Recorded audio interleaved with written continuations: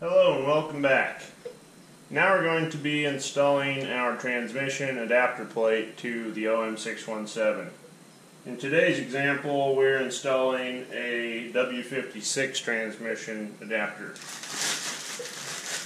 We've already gone ahead and installed our adapter plate with our six flathead cap screws. The only thing that you need to make sure is there's nothing on the back of the engine block and then you put the adapter plate on. Then we installed our pilot bearing and flywheel centering device. To do that, um, sometimes you might have a really tight fit, so what we had to do was throw our steel adapter into the freezer. We left it there overnight and we heated our crankshaft up with a little MAPP gas torch and it honestly almost slid right in and now we got a nice tight fit so we can be assured that's going to center our flywheel correctly. So the next thing we're going to do is install our flywheel. And so here's a flywheel, which if you got one from me, this would come drilled with the Mercedes pattern already in it.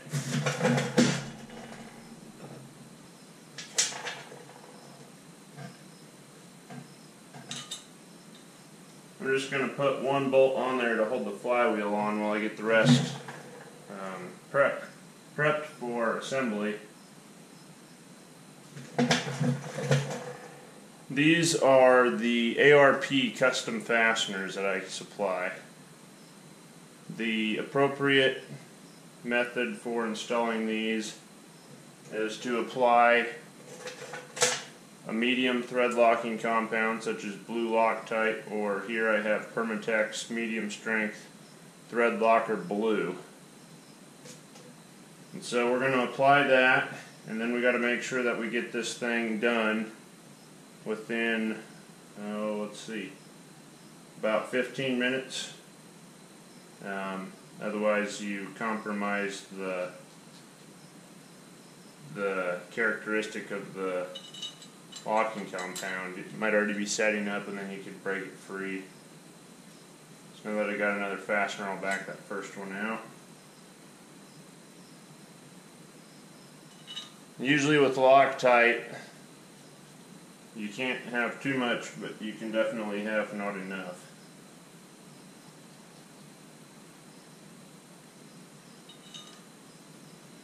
We're going to install all 12 of these with Loctite applied.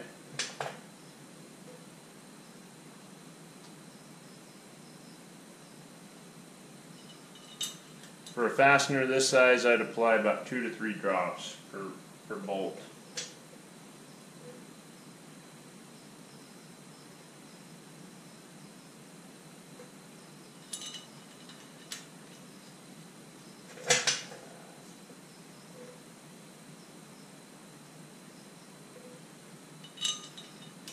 Keep in mind that only the bottom portion of the bolt is threading into the crankshaft, so you really don't need to apply any Loctite to the upper threads on the body of the bolt.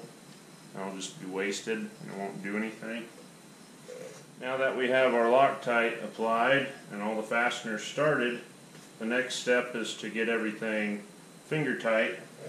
And since time is of the essence, since our Loctite is curing, I'm going to use an impact driver just to snug everything up just a finger tight.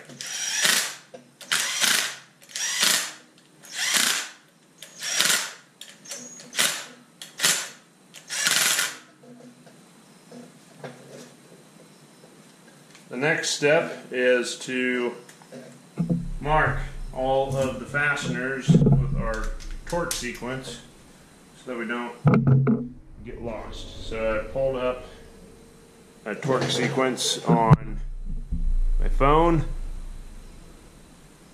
I'm just gonna use that here to go ahead and mark all these out quick. Now I have all 12 bolts marked in the pattern that they need to be tightened in. And the next step is to start torquing them.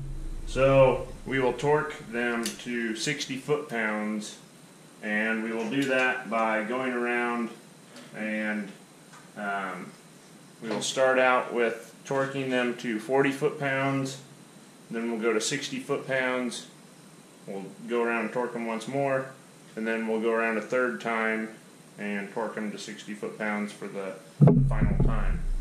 That will ensure a nice even torque all the way around. I'm going to set my motor down and block the flywheel from spinning and go around and start torquing these.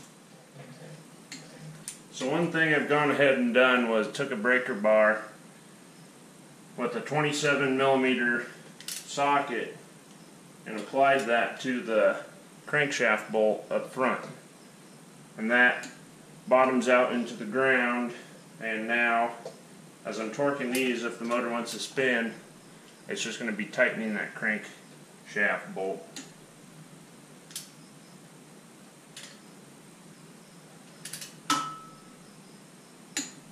So for the ARP fasteners, the technical correct socket to be using is a 12.58 socket. So now we've gone and torqued everything to 40 foot-pounds. So now we're going to go around for the second time, torque everything to 60, 60 foot-pounds.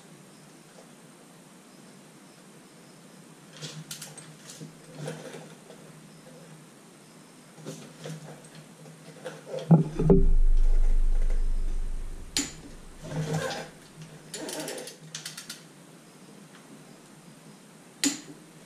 gone through the second time, torqued everything to 60 foot-pounds, 60 foot-pounds.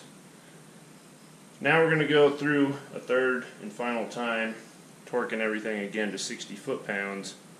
Now the difference here is that with the Mercedes torque yield bolts, they'll give you an angle of rotation such as 90 degrees that you would go ahead and rotate these to. These are not uh, yield bolts, so we'll not be going to 90 degrees. We'll simply just be going around one more time to 60 foot-pounds to ensure everything is nice and evenly fastened.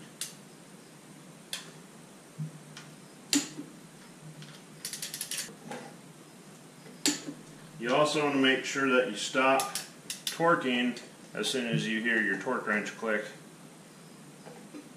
because it is possible to keep going and apply more torque which will make you have an uneven torque pattern.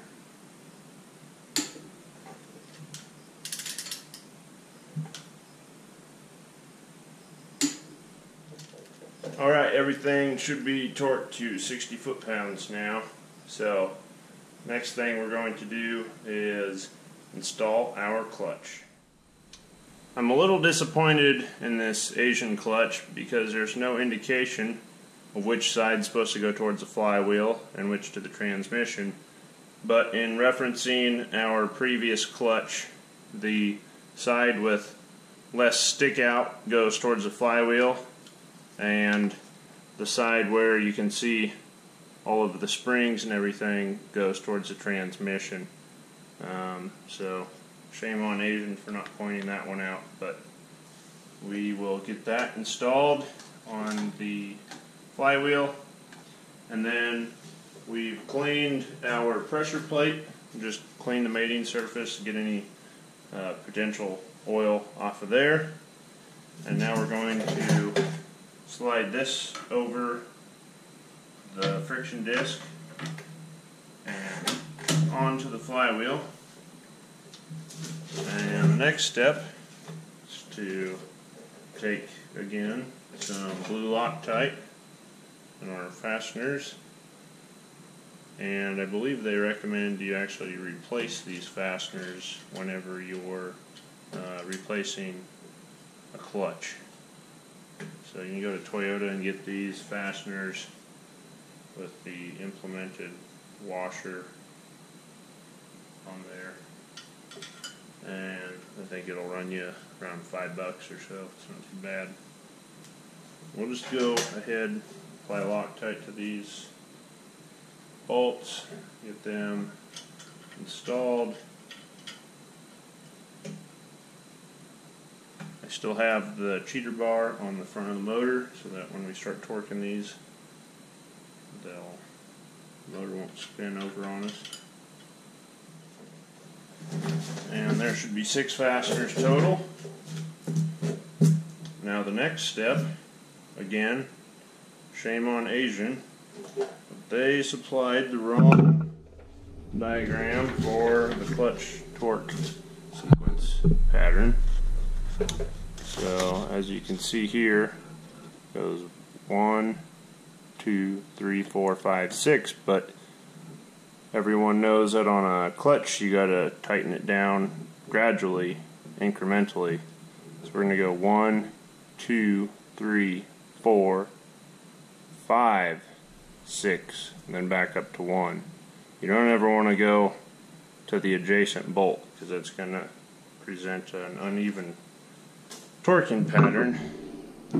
So we're going to set our torque wrench to 14 foot-pounds. We're not going to tighten it to 14 foot-pounds, but we're going to go incrementally in that pattern I showed you.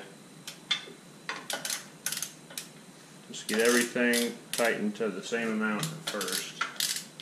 Everything is now contacting the flywheel. So we're going to go ahead with our pattern.